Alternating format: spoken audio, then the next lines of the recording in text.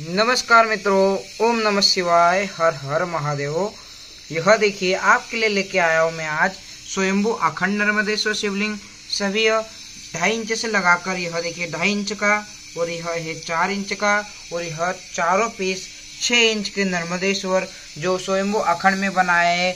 बहुत सुंदर अखंड, सर्वप्रथम यह देखिए, हम यह देखिए, बहुत सुंदर अखंड आपको दिखा रहे यह बहुत छोटा सा ढाई इंच का केवल है। यह देखिए, बहुत ही सुंदर डिज़ाइन में हम इसको फिनिशिंग करते हैं। उसकी जो हाथ से फिनिशिंग किया जाता है, एकदम बहुत ही अच्छे तरीके से करते हैं। आप देख सकते हो, इसमें हम कुछ भी कट का निशान कम से कम आने देते हैं, जिससे वो खंडित नहीं माना जाए। यह देखिए मित्रों, इसके पश्चात यह देखिए, यह चार इंच का अखंड है, बहुत सुंदर अखंड है। इन अखंडों को, अखंड शिवलिंगों को बनाने में बहुत मेहनत लगती है।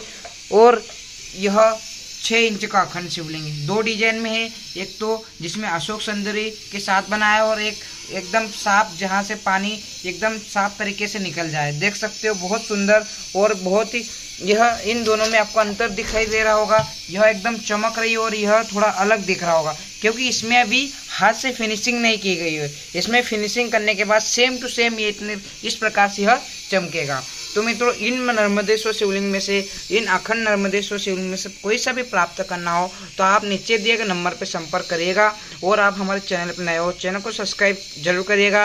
और अखंड नर्मदेश्वर शिवलिंग के हम एक बहुत ही बड़े कलाकार है, जो हम केवल सबसे ज़्यादा हमारे पास अखंड नर्मदेश्वर शिवलिंग ही चलता है और अन्य शिवलिंग भी चलते हैं, लेकिन अखंड नर्मदेश्वर शिवलिंग का हम बेस्ट वर्क करते हैं। और अन्य शिवलिंग जो है, नर्मदा जी की जलाधारी के